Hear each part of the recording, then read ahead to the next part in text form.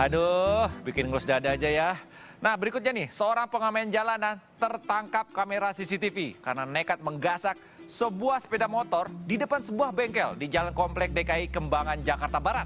Nah, pada saat melakukan aksinya nih, good people, pelaku menggendong sebuah gitar. Layaknya satria bergitar aja ya. Aw, aw, aw, aw, awas dimarahin Bang Haji Roma nih.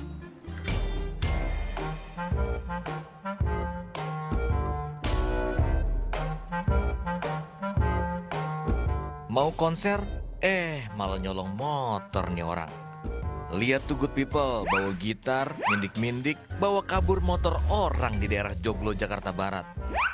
Sambil nyolong motor, doi nyanyi ternyata.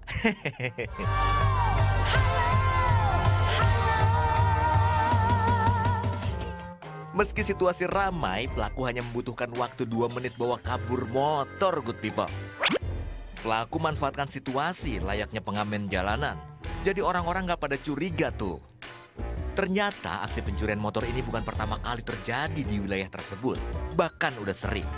Ya nggak nyangka aja ya, orang lagi rame. Kejadiannya habis maghrib, saya masih kerja. Setelah kerja, saya mandi, mandi makan. Makan bareng sama keluarga di dalam.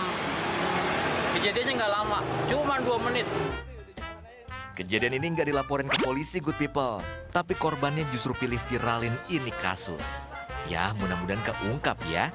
Theo Hernarvandi melaporkan untuk NET.